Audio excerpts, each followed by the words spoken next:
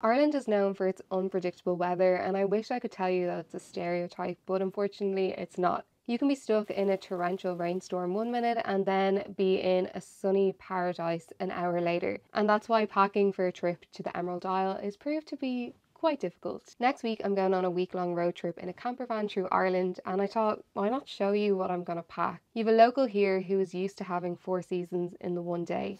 Welcome to Ireland! It's still great, promise. Come here. First, let's talk about luggage. Should you bring a backpack or should you bring a suitcase? It really depends on the type of packer you are. Do you like to pack lightweight? Are you going to be on the go constantly while you're in Ireland where you just need to grab your bag and go? Or are you going to be staying in more hotels, settling down in a place and then packing every few days. That really depends on the style of bag you bring.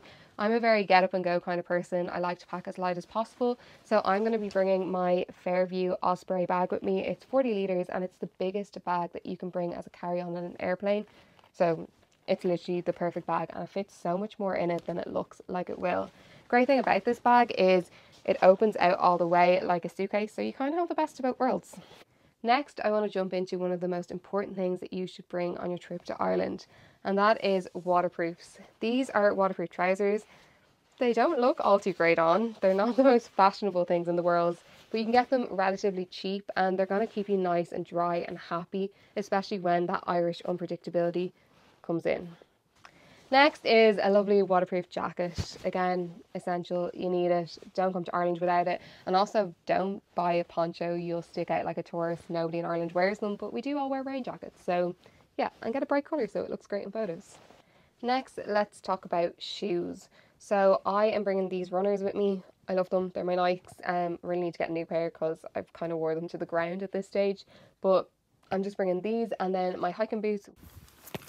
Um, these are the only types of shoes I'm bringing. Even if you're going to be in restaurants or anything, you will get away with wearing runners. If you're going on a city break, maybe bring a little fancier pair of shoes just so you feel like you're kind of spiced up a little bit, you know. But yeah, you'll definitely get away with runners if you need them. To keep myself organized, I'm using packing cubes for my trip. I got these on Amazon. They have compression zips, which means I can condense it down if I need to. On this trip, everything fits into my Osprey bag, and yeah, no compression needed. But if I want to buy something, I can. Um, in this bag, I have my trousers. So basically what I'm bringing with me on my trip, I'm only going to be doing mostly hiking. I'm going to be outdoors. I'm not going to be doing anything really fancy. I'm bringing one pair of jeans, basically just if we go for a meal or going to a pub or something at night, I have something that I can look a little bit more presentable in. And then all the other type of trousers I'm bringing is literally just sports leggings. Um, I use these all the time when I go hiking and they're perfect. And loads of people in Ireland do wear athleisure wear, so you look right at home if you bring these with you. If you're going out and about, say you're going to a nightclub or something, you don't need to bring fancy clothes. It really just depends on you. Everybody kind of does their own thing. Some people wear fancy things, some people wear jeans and a nice top. You really just wear what you feel comfortable in. There's no real dress code in Ireland. You can still go to a nightclub in a smart casual outfit. They don't kind of like deny you access if you're not dressed up to a certain attire, which is great. I love it. So, unpredictable nights, you can always go on them. Next is this packing cube, which you can see my pajamas poking out. Um, they are Lion King because Disney for the win. And um, this packing cube basically has all my t-shirts in it and pajamas and pajama bottoms. It fits so much in. these packing cubes are great. And then I just have t-shirts. I have five t-shirts that I'm bringing with me just so that I can kind of layer them up. And then I have tank tops that I can wear underneath my t-shirts if I do get a little bit cold because Ireland is really all about the layers. Um, the colder you get, the more layers you put on. Just the way it works. Speaking of layers, the mother of all packing cubes, this is almost bigger than me. Um, this basically has all my jumpers in it. So again, I just layer them up if I'm feeling cold.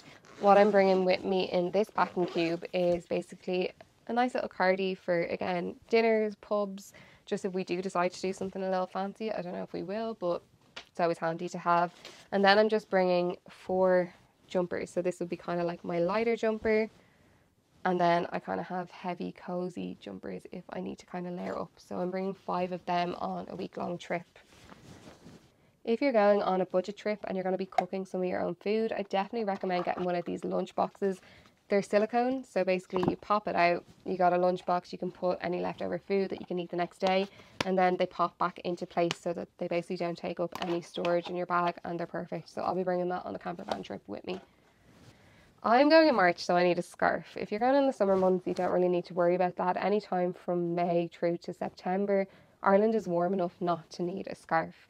Um, but yeah, it's always handy for kind of the shoulder months and the winter months. And alongside a scarf comes a hat. Again, if you're going in the summer, you could probably bring a baseball cap, but you definitely don't need one of these guys. Next thing that I recommend you bring is a microfiber towel. These fold up so small. This is actually quite a large, it's basically a beach towel size and it has this little like kind of bobbin on it so that I can tie it around me if I'm in public spaces and still get changed. And it dries super fast, so literally perfect. Anyone going on a trip to Ireland is more than likely going to be outdoors for most of the time unless you're visiting a city.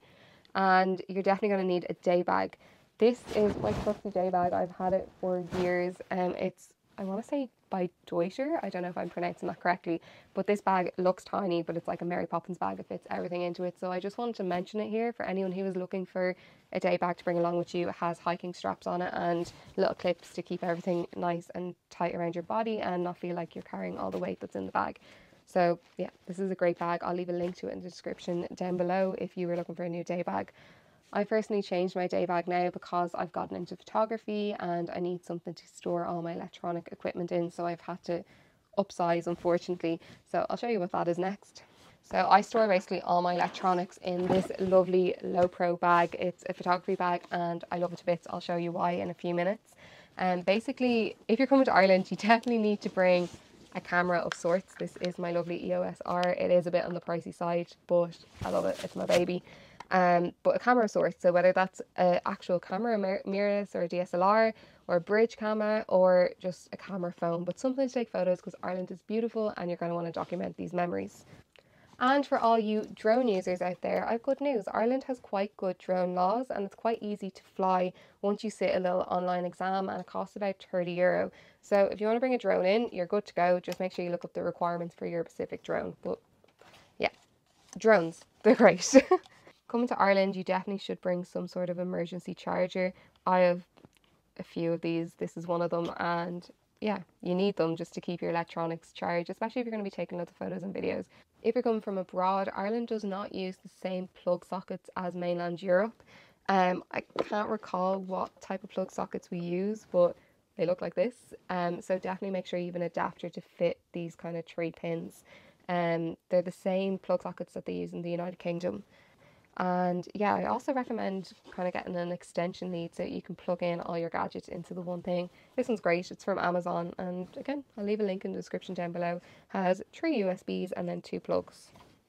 All you need, really. And then the Lowepro backpack. So basically, this is again an open out backpack. It's perfect. These little organizers are velcro and you can kind of move them around the bag. You can add a few more in and it allows you to kind of organize your electronics in whatever way you want. And there's two side pockets which basically gives you access to your camera equipment as you're like walking or hiking nice and easily. So just wanted to mention that because it's literally one of my favorite camera bags ever.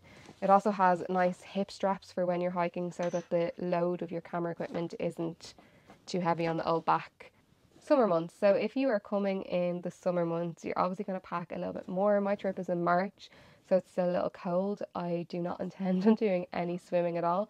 But Ireland actually has some fantastic beaches and they're definitely worth checking out. And now we're in the water and it is freezing when you get in, like that is just the reality of it. But it's beautiful and once you go numb, it's worth it. Even in the peak of summer, it's still going to be freezing. But you basically run in, you get numb and you'll be grand then. So swim dogs yeah, you're going to need them if you're coming in the summer. And then if you plan on doing hiking in the summer or even just exploring, I'd bring one pair of shorts because again, Ireland's weather is really unpredictable and sometimes it can be 15 degrees in the summer, sometimes it can be 25. We really don't know what we're going to get until the day of. Um, for hiking, I love these little like bicycle kind of shorts. They're perfect. Even if it does rain, your legs dry really quickly and yeah, keeps you nice and fresh if it's a warmer day. So that is pretty much everything that I think you should pack for a trip to Ireland. I hope this video was helpful. If it was, please give it a big thumbs up and leave a little comment for me to let me know. And yeah, thanks for watching. I hope you enjoy your trip to Ireland and I will see you in the next video. Bye.